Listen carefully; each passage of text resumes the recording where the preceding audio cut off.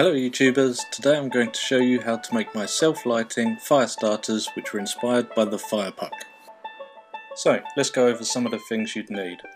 First, you're going to need some wax, I have tea light candles, some sawdust, uh, shavings, wood shavings, safety matches, moulds of some sort, these are McDonald's sauce pots and tea light cases, a pot to melt the wax in, and a fire source. I'm using a gel fuel chafing burner. Get started we need to melt our wax. Use a container that you don't care too much about as they can be hard to clean up afterwards. I'm just using an upturned cook stand and steel pot.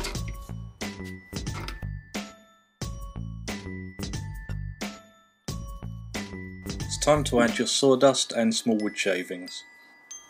My wax is a little hot here, you can take the wax off the heat at this point if you wish to.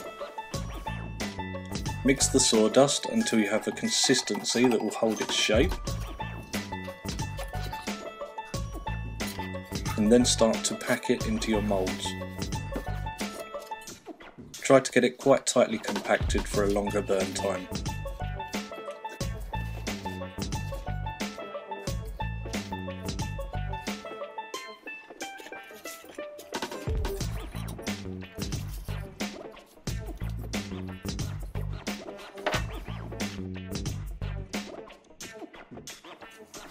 This stage is optional, I just wanted to try it out as an accelerant on some of mine.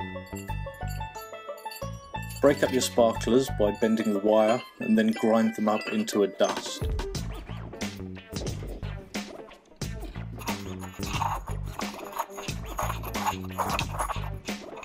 Then add a few drops of water and make a thick paste. I found it takes quite a lot of mixing as you get little water bubbles that don't want to mix in. Then, using a spreader, put a layer of the paste on the fire starter.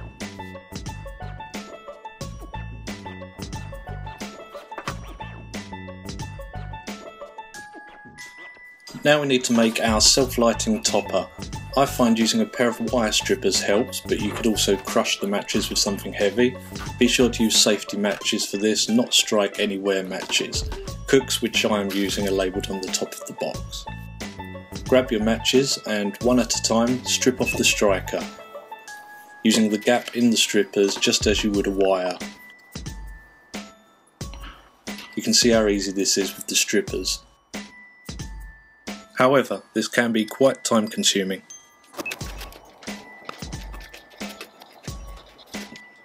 We now need to carefully grind up our strikers. Best to do this outside and slowly as possible. Remember they could light with friction. Once you have the powder, add water slowly and mix to a thick paste. Now add a thick coat to the tops of the firelighters, covering the whole top surface.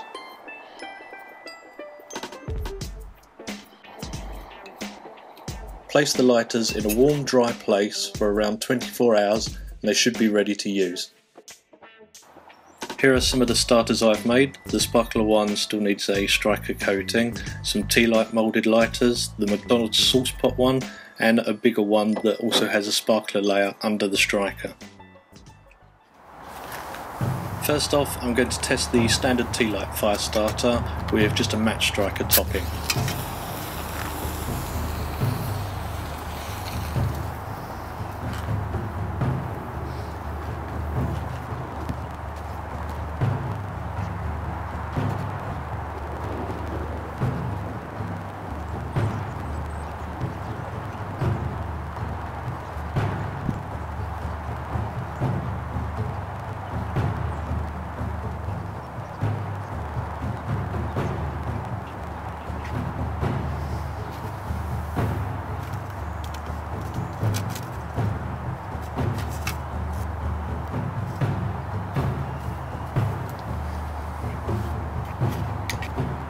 Tea light size fire starter ended up lasting around 10 minutes, which is more than enough time to get a fire started.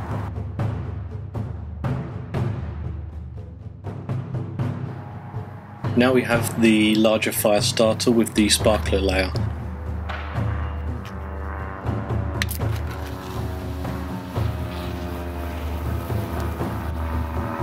Wow, look at that for a starter. This thing burns so well, I'm sure you'd get a fire started in even wet conditions.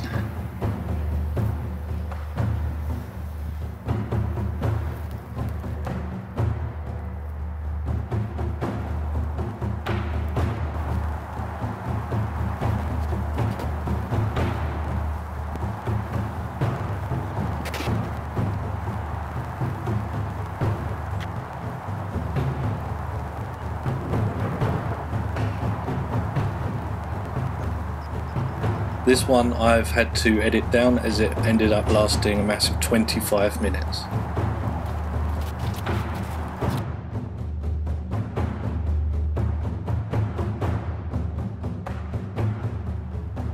It's around 50 pence each compared to around $25 for a Firepuck which aren't even available in the UK and a very low weight. I think these are an absolute must for any emergency bag.